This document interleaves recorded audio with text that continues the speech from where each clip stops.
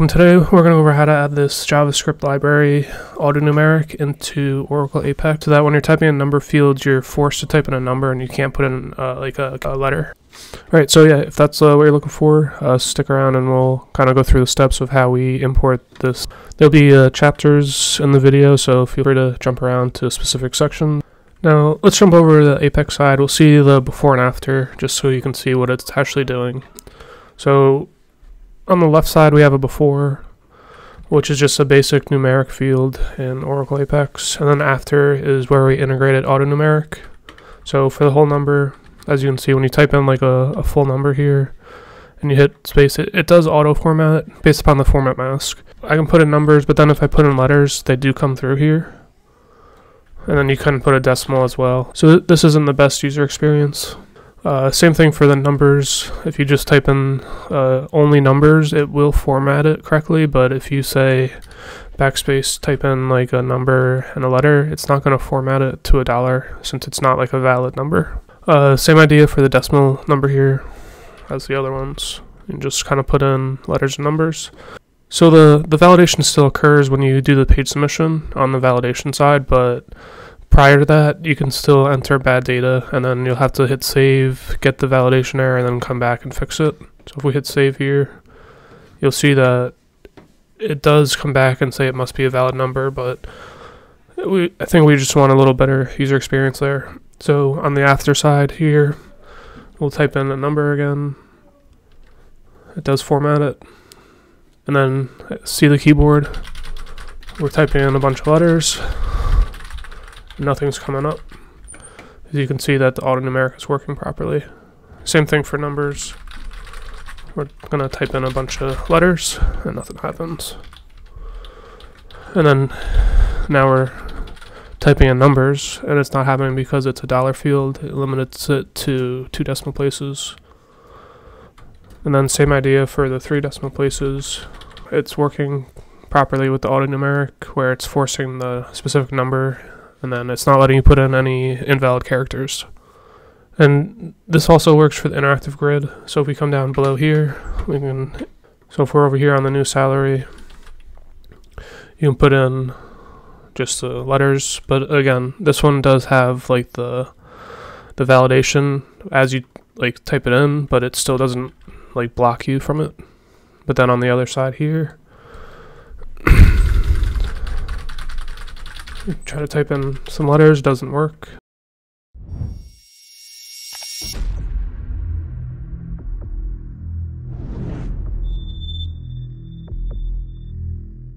The first step what we're going to do is download the AutoNumeric uh, code.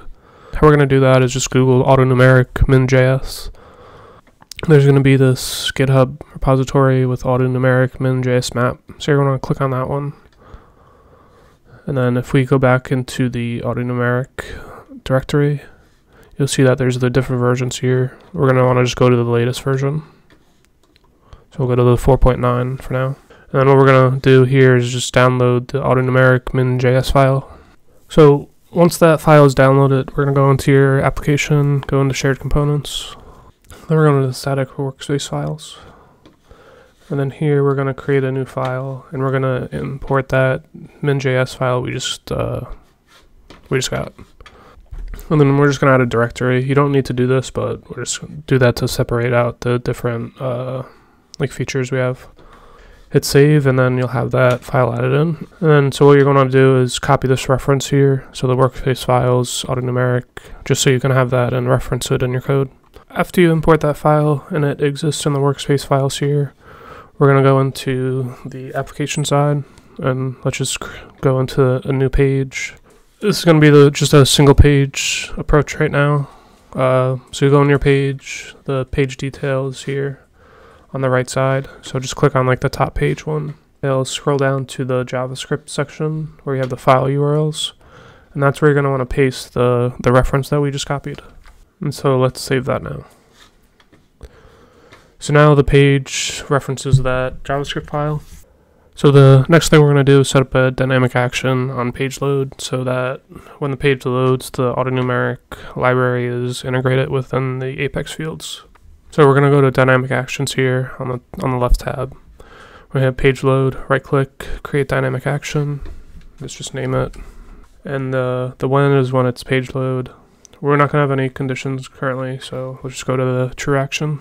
So here, what we're going to do is run some JavaScript code. So if we go to execute and then execute JavaScript code here. And so in this section here, basically what we're doing is grabbing elements by class name and then we're gonna loop through those elements in the field and then and then initialize the autonumeric uh, class. So we'll just start with the dollar field as the first example. So what we're gonna do is do a variable dollar fields which equals which equals this dollar field class, and then we're gonna loop through. So for each so for each dollar field class, we're going to do a new autonumeric, and then what we're going to do is grab that specific field here with the dot item. And then after that, the next thing we're going to be adding on is the configuration. So to get like specific configuration needs you have, you can go to their website at autonumeric.org, and then there's this slash configurator. And so as you type in And so with this and so with this page here, uh, you can type in like click on specific uh, settings you want here.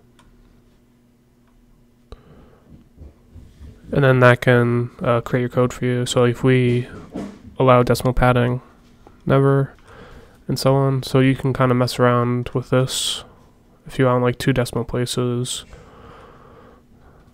and say you want a comma delimit or a dot character. And so you can see that it kind of appends here. So that's the next thing that we're adding on to our code. And for us, the configuration we're using is we're going to be doing a dollar sign currency symbol. For the digit group separator, we're using a comma. Decimal character is a period. And so the empty input behavior is a zero. So if there's nothing inputted, it's just going to end uh, like default to zero. You can change this to something else as you need. And then there's a modify value on wheel. So we were having some uh, so we were having some complaints that the number was changing if you were like scrolling on the page. So we disabled this here.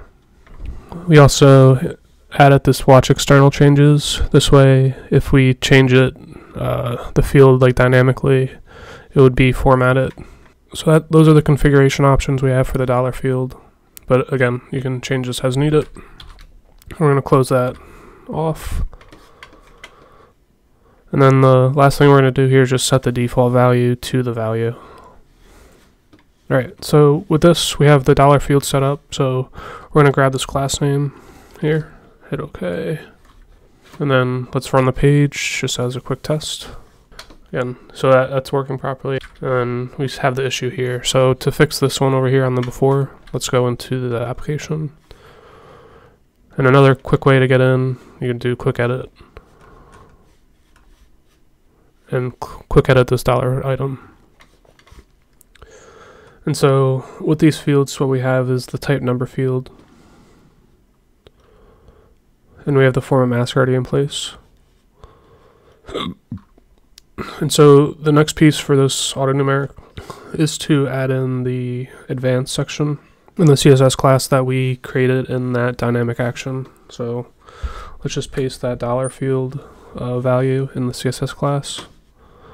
So as you can see in the before, we have that dollar field. Let's just save that. And if we hit run, let's enable that camera one more time.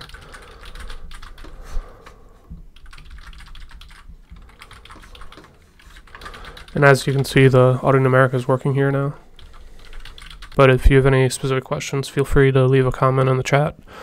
But it's the same idea, so it's just kind of appending. So if we like copy this and just paste it, you'll be able to do like a whole field, whole number field there.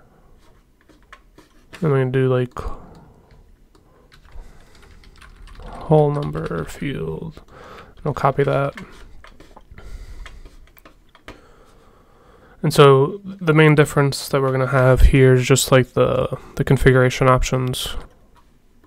Update these variable names to match.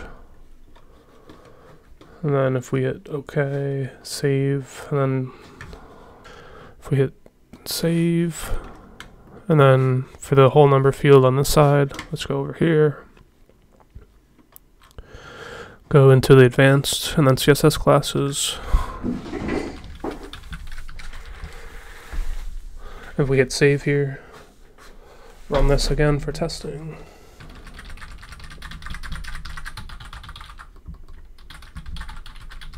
As you can see, it's working properly. So, yeah, that's uh, how you inter integrate AutoNumeric. We have this working on a single page now, where it's auto-formatting the numbers uh, with the AutoNumeric. So to make it more of a global solution, we're going to move it over to page zero and then include the file into the app files. So to do that, we're going to do is go into the page one again, where we have that dynamic action set up. We're just going to right click it, and then we're going to go copy to other page. Let's go page zero. It's going to be the same event. Alright, so then we're going to delete this one. And then the next piece what we're going to do is copy this JavaScript URL. We're going to delete it, hit save. Then just so you can see that it's broken right now, if we run this page, we'll see that you can type in uh, letters there. What we have to do next is add in that URL.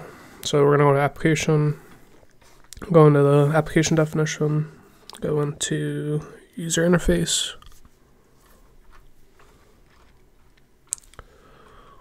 See the JavaScript file URLs, so we're just going to paste that there, hit apply.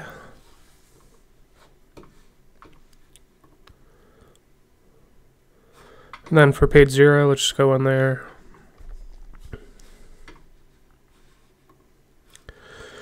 And so for this specifically, it's running on all pages, but you can put in a server-side condition uh, if wanted, but I'm not sure if the speed or performance is affected if you have this running on every page, even if there's no associated class fields there. Okay, so with all that set up, we'll go back to page one and rerun that. You'll see that we're typing in letters now, but you can only allow numbers, so it is working now with the global solution of it on being on page zero and then adding that min.js into the into the application definition. And just to show you that, that that's working properly, let's just go into like a different page. Say, uh, if we want to go into page two, and then let's add on a new page item. Let's do like a dollar test. We're gonna go into number field. I'll go down to advanced.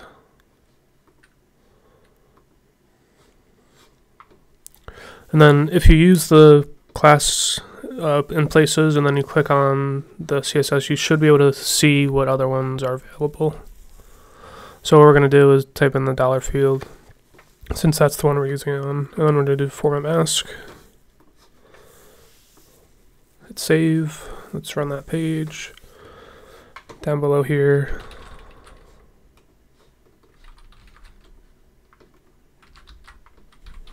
You can see that it's not working currently. And that's because on page zero, we don't have the page two enabled on the uh, page load item here. So we can do a comma and then two, and that will work. Or we can just remove this as well.